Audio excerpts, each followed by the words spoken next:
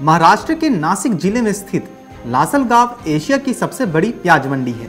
यहाँ की तर्ज पर अब येवला मंडी में अमावस्या के दिन भी प्याज की खरीद होगी। येवला मार्केट समिति ने भी अंधविश्वास की मान्यता को अब किनारे कर दिया है।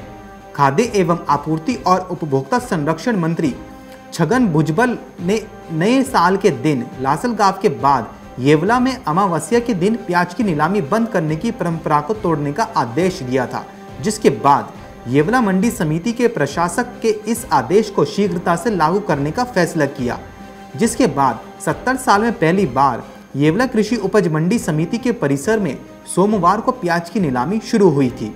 प्याज उत्पादकों ने भी इस फैसले का स्वागत किया है। किसानों के हित में केंद्र सरकार की ओर से राज्य सरकार के नियंत्रण में प्रत्येक राज्य में बाज़ार समितियों का गठन किया गया है। येवला कृषि उपज मंडी समिति की स्थापना उन्नीस सौ बावन में हुई थी। और 1955 में इसने काम करना शुरू कर दिया था। तब से लेकर आज तक 70 साल से एक परंपरा का पालन किया जा रहा है, जिसके तहत अमावस्या के दिन खरीद नहीं होती थी।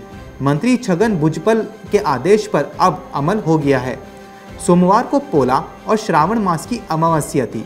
इसी परंपरा को तोड़ते हुए अमावस्या के दिन येवला बाज़ार समिति के प्रांगण में प्याज की नीलामी शुरू हुई।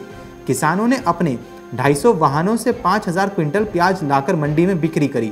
प्याज का अधिकतम बाज़ार मूल्य सोलह सौ क्विंटल और न्यूनतम भाव पाँच सौ रहा। वहीं औसत भाव चौदह सौ क्विंटल दर्ज किया गया था।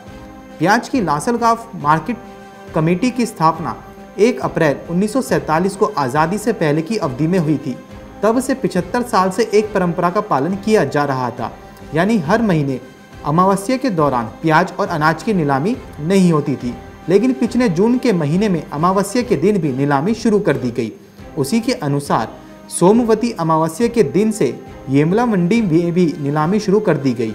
अब दोनों मंडियों को, किसानों को एक दिन अतिरिक्त फ़सल बिक्री करने का मौका मिलेगा। Bureau report, market times TV.